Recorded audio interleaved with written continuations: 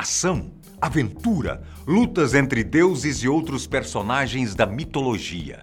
Conheça agora nove fatos mitológicos que inspiram God of War. Eu sou o Boco e você é bem-vindo ao canal Fatos Desconhecidos.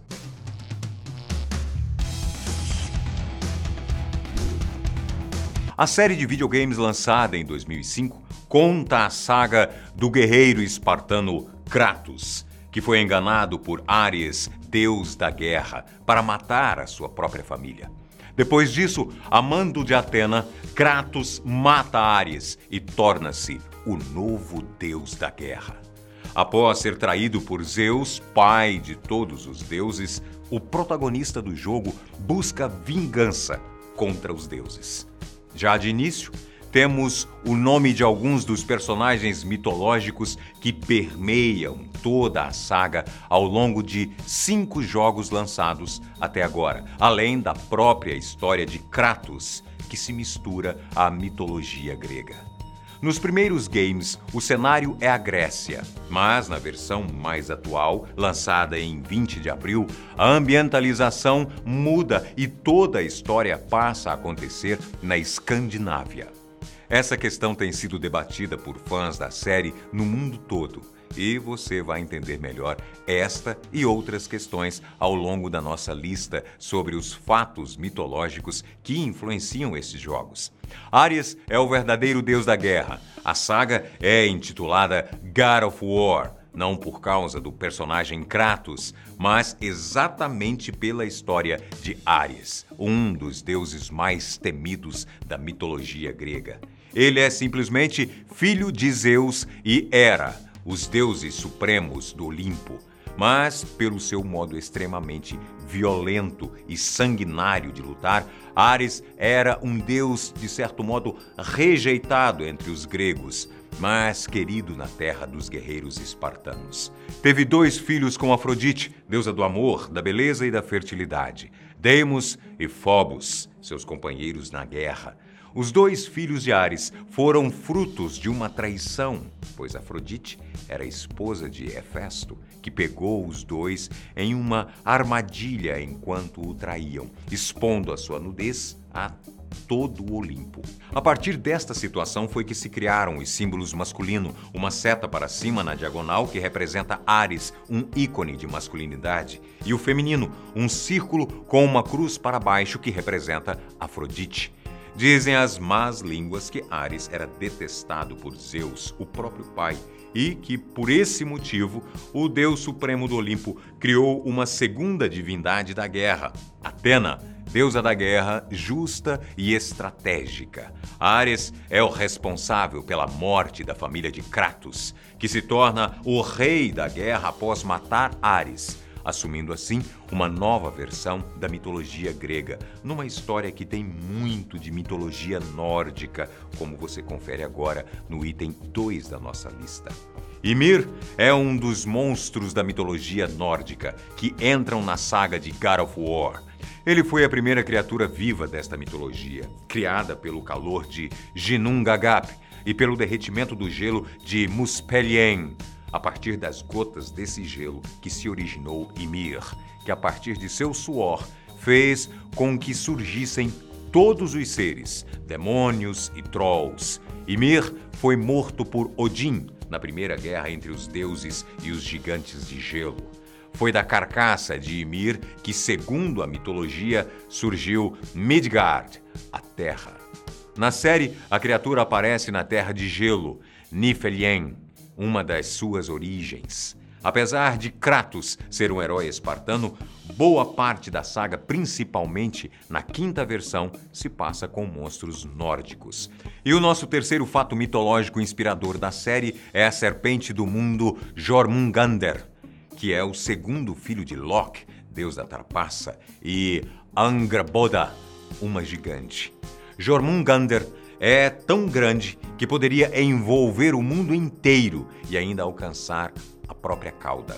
A serpente do mundo foi jogada no mar por Odin depois de ser raptada pelo mesmo, juntamente com seus irmãos que foram deixados em outros lugares. Jormungandr é morta por um golpe do martelo de Thor em Ragnarok, que é o fim do mundo na mitologia nórdica. Em God of War, ela volta a aparecer no jogo mais recente, mas já teve outras aparições na saga. A grande serpente é irmã de Ela, a deusa do reino dos mortos, e de Fenris, um monstro lobo que é o número 4 da nossa lista e também é um dos grandes sanguinários e o responsável pela batalha de Ragnarok, na qual mata Odin e depois é morto pelo filho de sua vítima. E falando em filho, o deus do trovão, Thor, entra na história por causa do filho de Kratos, que aparece no game recém-lançado. Mas o que ele tem a ver com Atreus, filho de Kratos? Na Eda em prosa e em verso também, um resumo da mitologia nórdica, Thor é casado com Sif, com quem tem duas filhas. Só que antes, a esposa de Thor teria tido outro filho, com outro pai, Segundo análises de fãs, Kratos seria este outro pai, que na mitologia é o gigante Orvandil.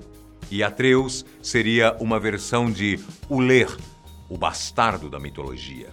Ficou confuso? Então, vamos resumir para você. Thor seria uma espécie de marido traído e seria o responsável por enviar tantas criaturas para matar Kratos e Atreus por vingança. Um questionamento que vem intrigando os gamers é como o espartano Kratos foi parar na mitologia nórdica.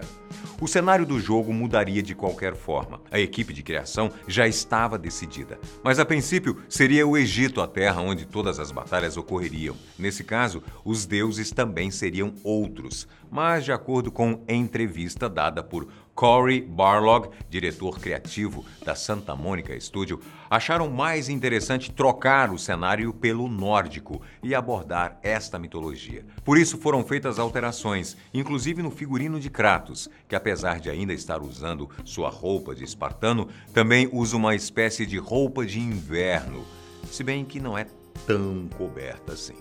Barlog ainda acrescenta que a distância entre os deuses gregos e nórdicos é apenas geográfica e não temporal. Neste caso, então, não seria uma mudança abrupta, já que um grupo de deuses podia simplesmente não conhecer a existência do outro grupo, não é mesmo?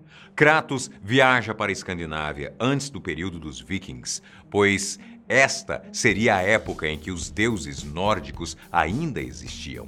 Mas o objetivo dessa viagem seria a cura para sua ira e, como defendem alguns, transformar seu filho Atreus em um deus. No game, você pode observar que o filho está o tempo todo com Kratos, que nos outros jogos andava sempre sozinho e sem medo algum. Bom, de acordo com análises de fãs gamers, a caixa de Pandora, que faz parte da mitologia grega, seria a justificativa para a busca de Kratos por terras longínquas. De acordo com as explicações, a humanidade estaria em caos e precisaria usar a esperança da caixa de Pandora para restabelecer a ordem. Só que teria havido um efeito colateral pois ao invés de ficarem com o poder, os humanos teriam formado suas divindades por não conseguir viver sem esta proteção. Depois disso, as divindades nórdicas tomaram para si a liderança do mundo, o que, a nosso ver, deixaria a coisa ainda mais confusa. Na quinta e mais recente versão de God of War, Kratos encontra-se em Valhalla, que é o nome dado ao Salão de Asgard, ou Asgaror, o reino dos deuses, cujo líder é Odin. Os deuses mortos em combate que foram escolhidos por Odin são levados para este salão. Se você é fã das histórias da Marvel e do Cavaleiros do Zodíaco, já sabe do que é que eu estou falando.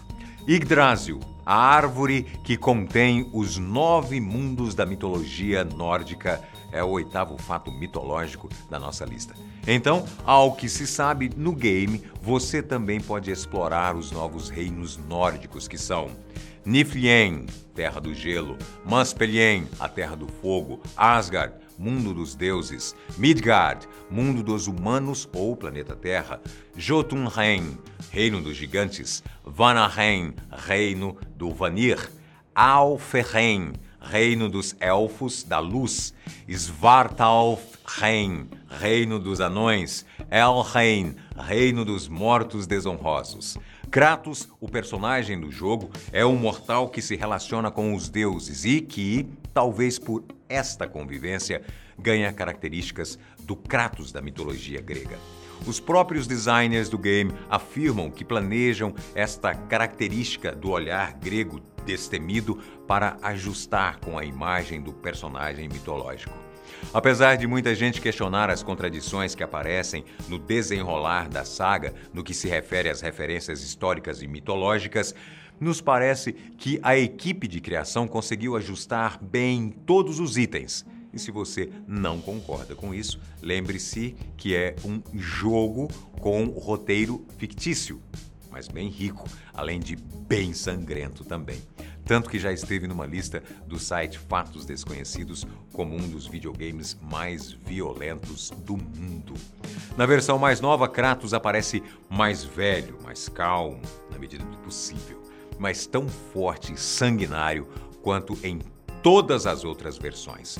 O jogo tem dublagem para a língua portuguesa e tem uma riqueza de efeitos sonoros, ângulos e tomadas incríveis. O cenário também é fantástico, tanto que tem muitos fãs torcendo por uma possível versão para o cinema. Por que não? E você, já jogou God of War? O que achou da lista? Comente aqui pra gente. Um grande abraço, até o próximo vídeo.